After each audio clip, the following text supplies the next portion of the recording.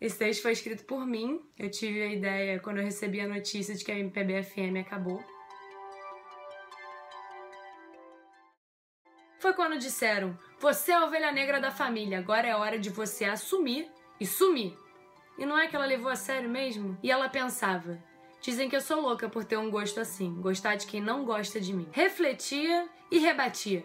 Mas eu prefiro ser essa metamorfose ambulante do que ter aquela velha opinião formada sobre tudo. Caetano afirmava: Você é linda, mais que demais. Você é linda sim. E ela se mantinha nas reflexões do que poderia haver de errado com ela. Quem sabe eu ainda sou uma garotinha. E num ato de desespero, implorava: Eu tô pedindo a sua mão, me leva para qualquer lado queria só um pouquinho de proteção ao se sentir abandonada. E chegou à conclusão: você não soube me amar. Crise existencial.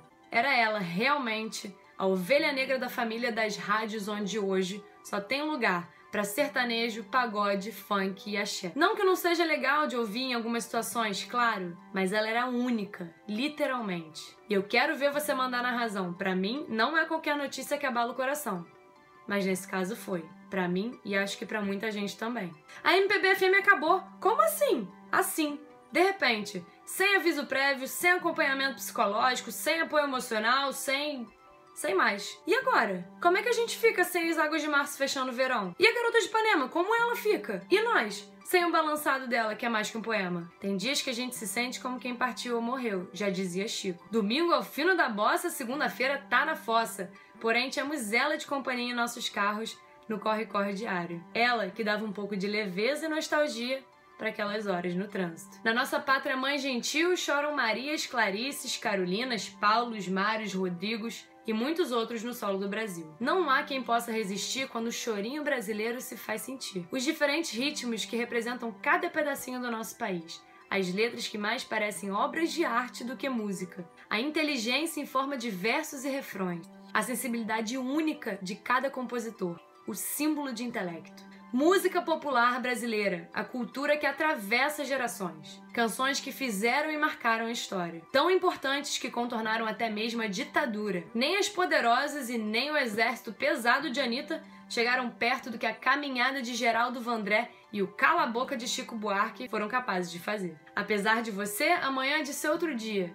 Mas nada do que foi será do jeito que já foi um dia na história das rádios brasileiras. E eu me pergunto, que país é esse? Onde bunda é arte, é cultura, é esporte, é até filosofia quase uma religião. Realmente, isso é o mistério do planeta. Até um menino de mentalidade mediana que mora nesse país tropical, como diz Benjor, entende a importância de manter viva a cultura brasileira. Não, gente, sem exclusões. Eu estaria sendo totalmente hipócrita se fosse isso. Eu só defendo o equilíbrio, a possibilidade ao alcance dos dedos. E a gente se pergunta: e aí, será que você volta? Porque eu gostava tanto de você, eu quis lhe pedir para ficar, mas de nada ia adiantar. Ela disse adeus. E então, o que sobrou foi esse ão de São. E eu hei de cantar aquela canção.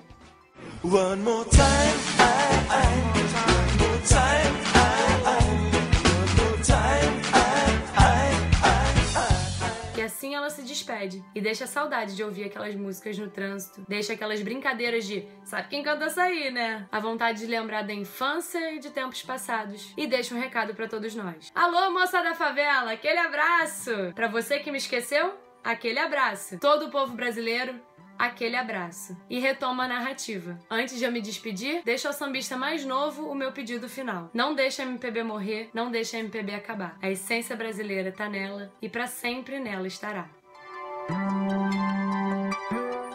Apesar de eu não ser uma pessoa que escuta MPB todo santo dia, era uma coisa muito gostosa, porque eu sempre ouvi MPB desde pequena. A MPB é o Brasil. Cada música conta uma história diferente, cada ritmo, cada letra é incrível. Então, se você não conhece ainda, vai escutar MPB porque vale muito a pena. É de uma inteligência impressionante e eu queria só deixar essa homenagem pra MPB FM que acompanha a gente, acho que desde que a gente é pequeno.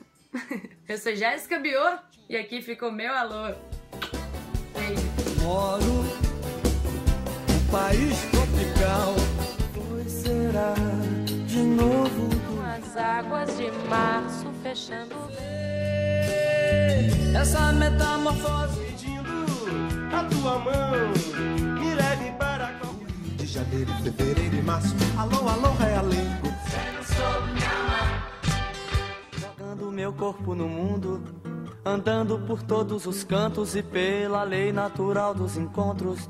Eu deixo e recebo um tanto e passo aos olhos nus ou vestidos de lunetas, passado, presente, participo sendo o mistério do planeta.